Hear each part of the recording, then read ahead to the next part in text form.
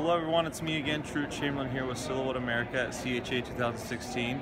I've got this beautiful gem of a gem. It's called the Mint Stamp Making Machine. A lot of you guys are going crazy about it. It's exactly how it sounds. It is a personal stamp making machine, make no mistake. Basically what you can do now on any image, any design, any art that you have in your studio library or silhouette library, you can now make it into a stamp. You can take photos, draw your own drawings, or use any one of our over 75,000 images, or I should say designs on, on our software to use it as a stamp. Right now, I'm actually gonna make you guys a stamp, but first I wanna tell you what comes in the box with the machine. So with the machine, you get the machine itself, you get two different stamp sizes. Now this is a 15 millimeter by 60 millimeter stamp size or a 30 millimeter by 30 millimeter stamp size. It comes with the stamp, the stamp top, and the block, and I'll go over all those here in this video, so no, uh, no need to worry.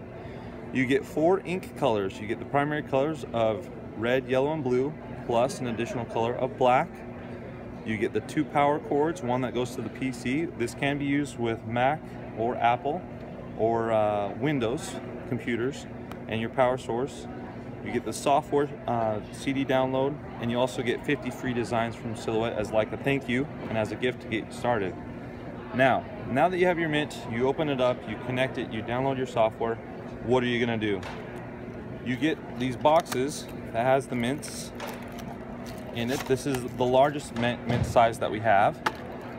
It is a 45 millimeter by 90 millimeter stamp. Again, this is the biggest size we have. This is big enough to make a personalized business card. But here in this video, I've actually made a, a stamp for Martine Rijnbeek. Uh, it's titled uh, Martine Rijnbeek CHA 2016. I'll show you how that works.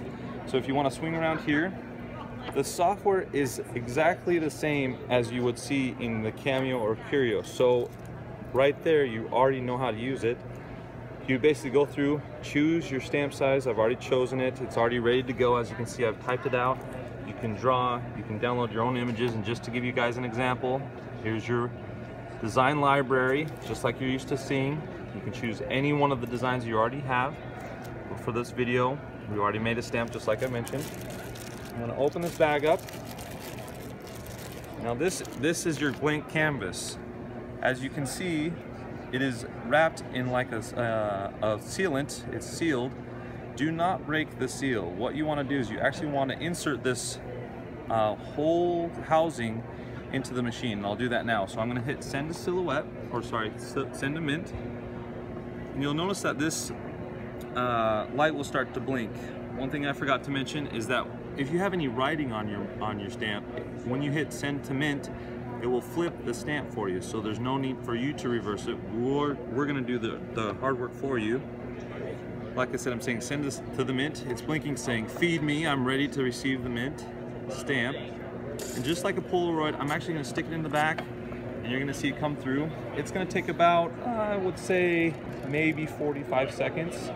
As you can see, it's feeding its way through.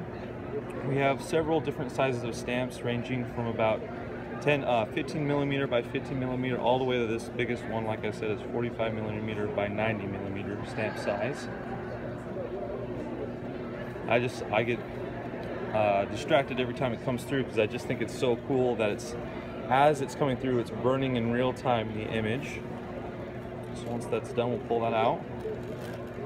While it's minting the stamp, I'm gonna prepare my block. With, with the machine, you also get the block itself, the top, which is interchangeable, and I'll show you that here later in the video.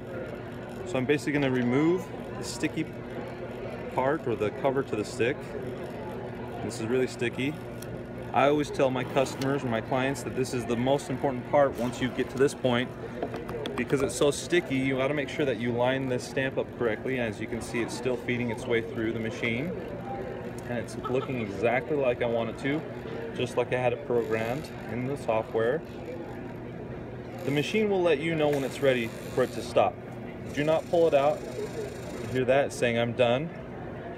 Now, what I can do is I can break the seal. I can take out the stamp. There's that film I was talking to you about, that's on it. You can touch it, you can feel it. It is not raised, in fact. what it's done is it's burnt through the top uh, rubber and expose the absorbent pad underneath. So this is very porous, the gray part that you're seeing. Again, it's very important that you line it up because if you get it on there the wrong way, it's kind of hard to get it off. All right, so now it's on there. This is where the fun stuff happens. Now I've asked Martine earlier what's her favorite colors and she, she, she said yellow and pink. So what that's what we're gonna do. These are our inks that come uh, with the machine. The yellow is one of them. The other colors you can buy at any store or any retailer nearest you. It's a water-based ink um, and it's just an applicator. What I want to do is I want to apply liberally to the gray area the ink. This is probably the most time consuming because you have to wait for the ink to soak in all the way and you have to make sure you cover all the gray. So I'm sure with uh, Martine's video expertise she might be able to speed up the video but if not I'll try to hurry so that you guys don't have to listen to me talk. You can just ooh and ah over the power and awesomeness of the mint. So I've got the 2016 CHA all done and covered. I'm sure I've got all the area covered. While that's soaking in, I'm going to apply my other color, the pink. Yeah, can you cut a long sheet?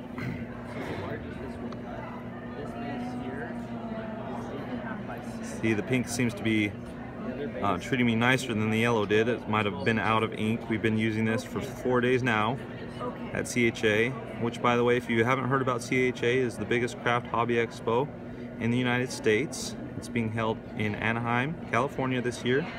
Next year, there's been talk of a different location.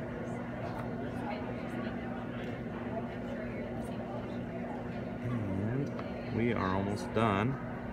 Again, I apologize. Some of you are thinking, oh, you're wasting all the ink. As long as you get the ink on the gray part, that's the part that soaks up the water. Now, I've been telling my customers, it's kind of like when you hike, go hiking, and you want that first gulp of water. It's so refreshing. That's how this pad feels about the ink. It just wants to receive the ink as much as possible. So we're actually going to give that a couple more seconds to, to, soak in. As you can see with the, the yellow, it's already started to sink in. You can see the discoloration.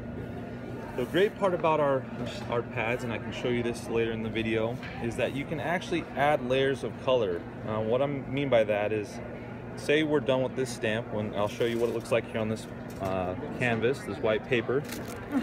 Once you're done with the color, you can then add another color directly on top of the yellow, say purple. And you're not going to see a mixture of purple and yellow, you'll actually just see the color purple. But we'll get to that point.